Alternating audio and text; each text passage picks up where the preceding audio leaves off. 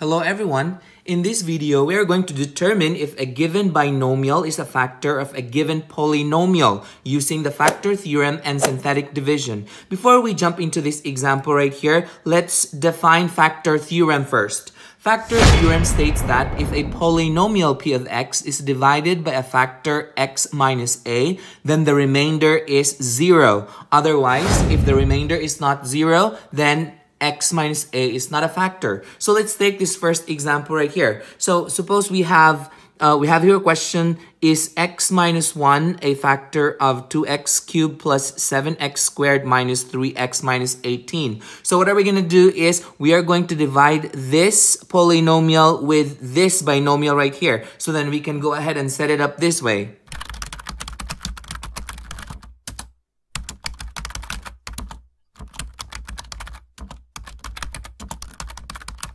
Okay, so if we divide this polynomial by this binomial, if the remainder is 0, then x minus 1 is a factor. But how do we divide this? So in order that we can divide these two polynomials here, we're going to use synthetic division. This is how we set up the division process for this using synthetic division. First, we are going to write only the coefficients. So the coefficients of each of the terms. So then we, I go ahead and write 2 here. So that's going to be 2.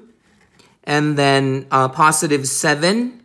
And then negative 3. And then negative 18.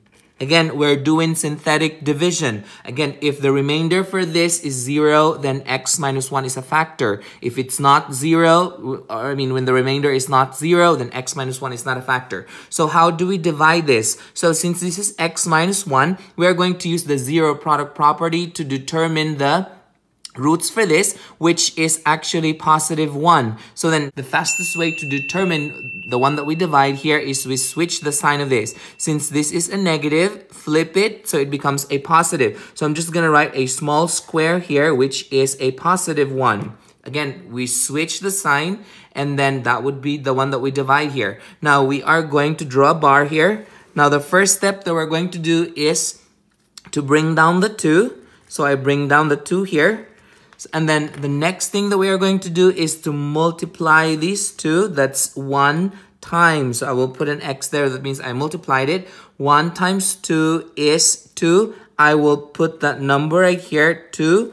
And then I'm going to add these two. So then 7 plus 2 is 9. I will repeat the same process. I will multiply 1 by 9. So that would be a 9. And that's the number that I will write here. So this would be a 9. And then I will have to add these two together. So negative 3 plus 9 is 6. It's going to be a positive 6. And I will repeat the same process here. The 1 will be multiplied by 6. 1 times 6 is 6. And the product to that will be written in here, which is a 6 and then I will add these two together. So negative 18 plus 6 is negative 12, which means that this is the remainder.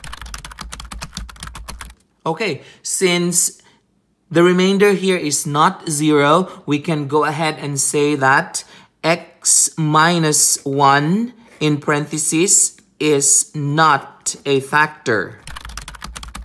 Okay, the reason why x minus 1 is not a factor because the remainder is not 0. Please remember that the factor theorem states that if a polynomial p of x is divided by x minus a, then the remainder is 0. In this case, it's not 0, so which means that x minus 1 is not a factor. Now, if we want to know what is the answer to this or what is the quotient for these two when they are divided, this is the trick.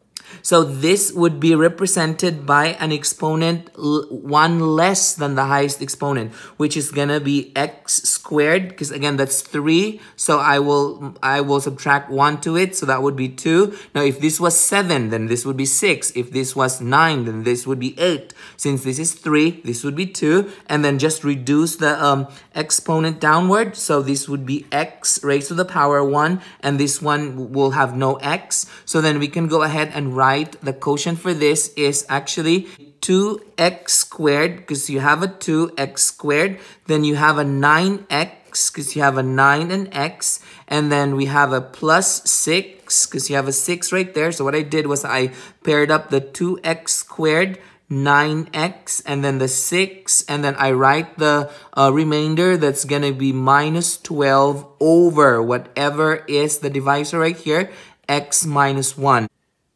So this is the quotient of this expression that we have right there. At this time, I would encourage you to pause this video and try this problem out on your own. And when you're done, unpause it and check your answer. Okay, so we go over the problem here. So let's set up this um, expression. Again, this is our polynomial p of x, and this is our x minus a. So then we can go ahead and write this as...